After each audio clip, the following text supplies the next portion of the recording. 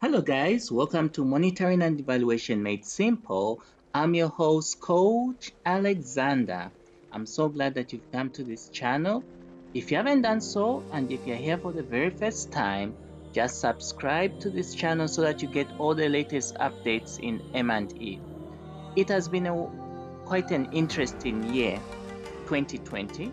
So I thought it would just be fitting to understand how to identify key lessons learned from a project. So you may be implementing projects uh, in your organization or you may be a manager of one of these projects and you want to get to understand how you can identify the lessons learned okay?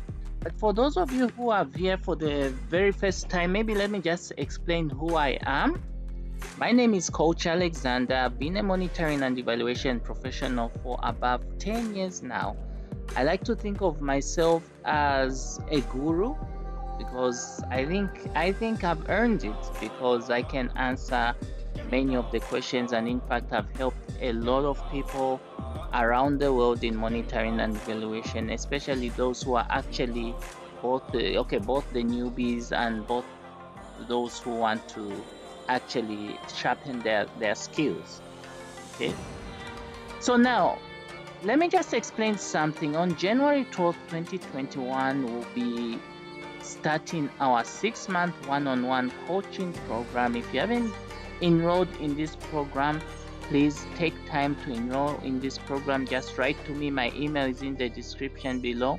This is a very good program. We already have students running with this who we enrolled last year. I mean, anyways, this year we haven't yet entered the 2021 yet, but we had some students and they enrolled, they've gotten the full maximum benefit out of this program. And I really want you guys to consider enrolling in, in this. It's going to be a six month one on one coaching. So please write to me if you're interested in being coached by me and some other colleagues. Also, I have some freebies. These are the 2020 M&E guide and the logical framework analysis step-by-step guide. The link is in the description below. Please feel free to download these books. They are totally free. They'll kickstart your quest into understanding M&E, into implementing it in your organizations. Then finally, I also have the Udemy step-by-step uh, course on how to develop a monitoring and evaluation system. You can do well to enroll in this, this course. So this video is quite long as usual and it's rich in content. So take advantage of the timestamps which are in the description below so that you are able to navigate your way around this video without having to really watch the whole video, but just watching certain segments of this video that you feel are important. So let's get started, shall we? So in every project, whichever project you're, you're running, whether it's a strategic plan, okay, I like to think of a strategic plan as a, as a project, but it's it's a it's actually a strategic plan but you can it has activities it has a start point it has an end point so i like to think of it as well but as you can see in this image when you plan for your interventions. Everything happens here. All right. And then after you do the planning, you do the actual implementation. So now the implementation of the project is where now you see you're actually uh, doing the activities you had planned. And those activities are obviously translating into something and something meaningful because that is what you had planned. So during that process, you're obviously going to be monitoring, you're obviously going to doing, do some midterm evaluation and so on and so forth. However, when the project comes to an end, you do the final evaluation. And that evaluation is meant to give you information about how your project performed. So now that information can be either positive or negative, but regardless of which direction it takes, it is supposed to stimulate learning in your organization so that when you have those evaluation results generated here, as you can see, these are now the evaluation results. They will be used for planning of a new project. And then the cycle restarts at the planning, implementation, evaluation. So you'll find that this is a continuous cycle. And that's why they say it's a continuous learning process. So now, the issue is that if you want to generate lessons learned, it really comes down to studying the evaluation report and its recommendations. So now, I really want to stress that this is the starting point. Just because you have the evaluation done, usually these evaluations are conducted by independent consultants. So once you have this evaluation done, you have to study it. You have to make sure that it answered the questions that you're looking for. Don't be afraid to criticize this report, okay? Because that is the whole essence of getting to understand whether it's tackling everything you wanted. It is really critical, guys, that you come up with a very good terms of reference before the evaluation that the consultant should follow religiously. Because that terms of reference is going to help him or her or it could be an organization a group of consultants answer what it is you want to you know find out about the project and usually it's really simple you want to know whether your project has succeeded or not and if it hasn't succeeded what were the underlying underlying factors and what should be done in future.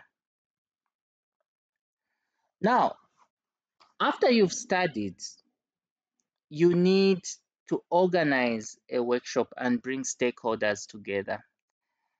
I feel this hasn't, in my experience, sometimes people skip this. I don't know why. They just have an evaluator come up with an evaluation report. And after that evaluation report is done, they'll submit it back to the donors. It's not supposed to be that eh, like that. That that report somehow needs to be validated, and that is where you have stakeholders coming together. So stakeholders should be able to critique this report and really find out whether it is answering first of all the project objective, whether it has answered whether the project achieved its object, objectives or not. And also they need to, it needs to be an opportunity for them to really see whether they, the evaluation actually tackled the underlying issues that were being asked in the terms of reference. So you can have stakeholders from different different sectors. You can invite people from different donor agencies. You can invite government officials. You can invite even your the donors that are supporting this project.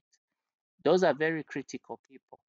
You invite them, they'll come, even if they don't come 100%, but some of them will come and they'll give you a very good input on the report. So after they give you your input, you can actually take it back to the consultant and say, these were our comments.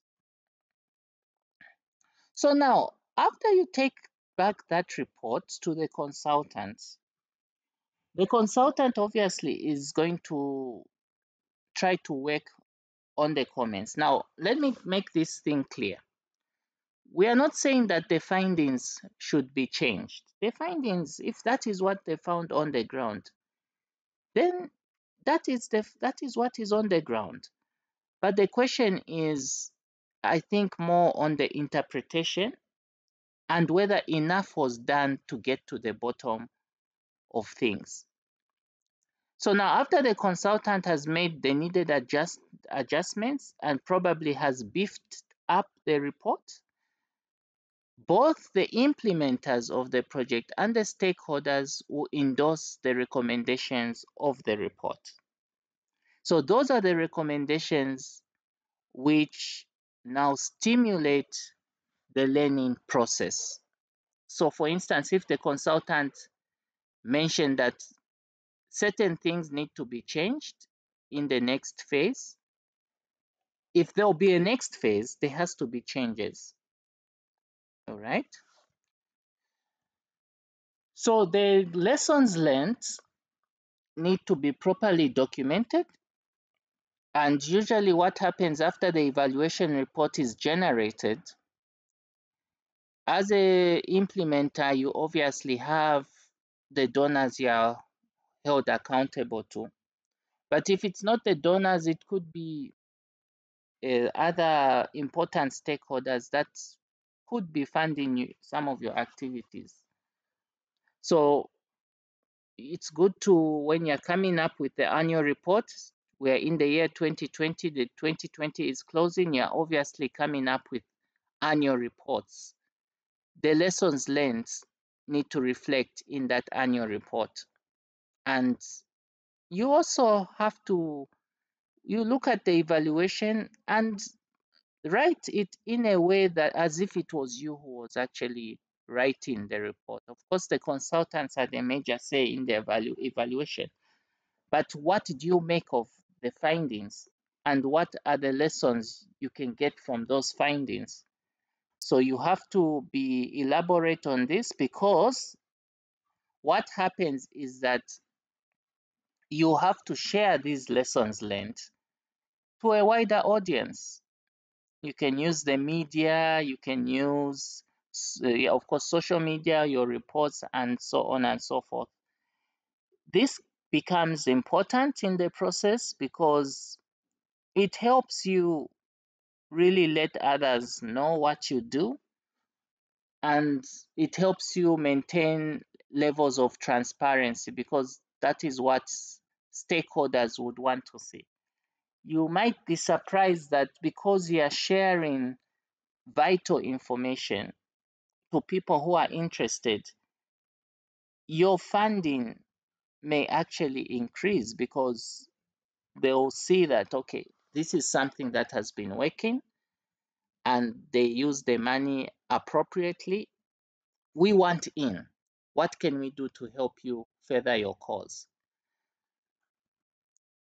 So now, after you've learned, after you've read, consulted everything, after you've done everything, the corrective action is very, very important.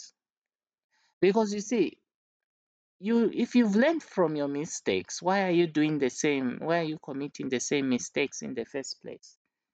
When you learn from your mistakes, you need to take corrective action. So when it comes to your next program, project phase, you need to ensure that if truly what the consultant or what the evaluation report made any sense, then that is your opportunity now to really practice what you preach. So, so you have to make sure that the next phase you do the right thing.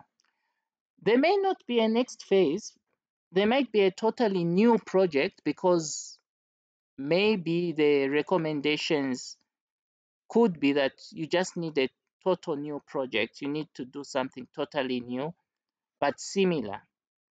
That is also okay. That can also work. So the whole point is that the continuous learning happens for a reason.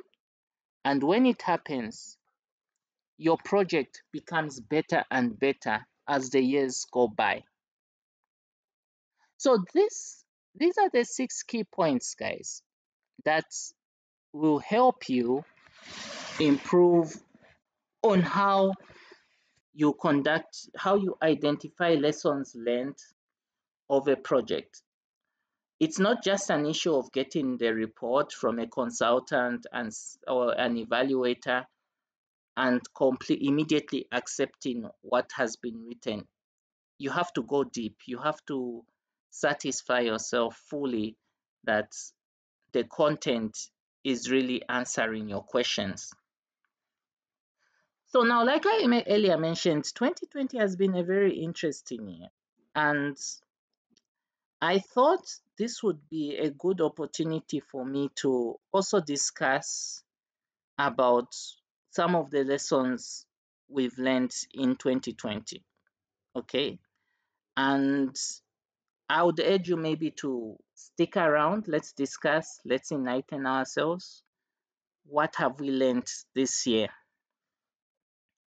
Okay, so these are the 2020 lessons. I don't have a lot of them, but I'm just looking at the major lessons.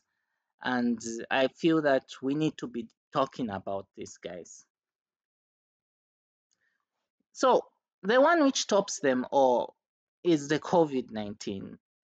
And when the when the COVID came, when it first came, it in early this year, it it just sounded some like it was just a normal flu. Okay. But it later turned out to be something very dangerous. And as of today, we've lost millions and millions of lives, especially the worst hit countries are obviously the, the countries in Europe and America. It has been a very bad year because of this. I, I remember if you look at some of the videos I was posting, I was panicking as well. But I wanted to help out in trying to further a cause of maybe helping where I can. So, one thing I've seen, guys, is that as a globe, as a world, as humanity, we don't seem to have airtight systems. We don't really seem to have uh, airtight airtight surveil- surveillance because if things were tight, in my view, we shouldn't have had uh, this uh, this problem as as big as it was because we, we all know where this disease came from. It started from China, and uh, it's just unfortunate that it, it just spread so fast. So there wasn't any, and it also t- helped me realize that actually WHO is not as strong as we would want to think they are. You see what I'm saying? Because I think they they didn't seem to have it all under control. Like that is just my independent view. Okay. But it's just also telling us that as a humanity we still have a long way to go when it comes to fighting disease. And uh, this disease has really destroyed everything. It has destroyed marriages. It has destroyed people have lost it, lost their jobs it's just turned everything upside down. Okay, so that was one lesson learned the COVID 19. Now, the next one is the United Nations Sustainable Development Goals Report 2020. So it was it's interesting. One thing I need to tell you guys is that the United Nations, and I'm happy to say this, are transparent. When I was reading this report, they didn't uh, try to sugarcoat things. They they gave out information the way it was, the the way it's the way they've captured it. So now the only concern I had about the UN is that this report was not um, really widely circulated because I, I, I only honestly came to know about it in uh, later in the year when it was actually released earlier on. So I think there has to be some kind of wider circulation. People need to know, media needs to know when they have this report released. Okay, that is one, one concern. Now, the biggest concern I had about this report is that we don't seem to be doing well in most of the i haven't finished all the indicators i think I, I i think i didn't manage to finish them because obviously i was i have been busy and you know sometimes posting regularly on youtube is not easy it's not easy guys but i try as much as possible to do it And uh, you might also want to know that uh, I'm not really earning earning much that can actually pay my own rent. I'm not earning that, but I'm doing this because I know I'm I know I'm changing a life somewhere. So this report is is is very sad and what I noticed is that we are doing very badly in poverty, hunger, uh, health, obviously, because of the COVID 19, uh, quality education. I think we are not really, we seem not to be doing well. So, the take home is that um, because looking at the period, we only have 10 years to go until we can achieve the all these indicators, it looks to me that we are we are dragging, and it's all because uh, the nations are not really committing to achieving these these changes from my perspective and also what I read. Okay, but on a brighter note, it looks like M&E made simple is growing. I think that's on a lighter note. I took a break last year, I think, in posting regular videos, but then I started picking up my posting. It looks like my subscriber base has grown, which I'm so happy about. Okay, we are at eight above 8,000 subscribers on M&E Made Simple. And I think that's very nice. I want to I want to congratulate all of you out there for supporting this channel. Let's grow it together let's make things happen. Yeah. So i'm i'm projecting next year it will have a bigger subscriber base. Also in case you didn't know on facebook there is what is known as the international experts group in monitoring and evaluation. Right now we are at 6000 subscribers plus. If you are not part of this group please join this group because it is where you find the actual experienced individuals in monitoring and evaluation. So you can get to interact. I'm, I'm the administrator of this group and I sure want you to be part of this group, guys. Okay? Okay, so thanks for watching. It's been such a pleasure. I wanted also to mention that in the coming few days, I'll be releasing a series on how to the different types of evaluations that are there. So I want you to be part of that series. We're going to be discussing the different types of evaluations so that you can probably be using those types in your projects. So until we meet again, I've been your host, Coach Alexander, and see you on the other side. Bye.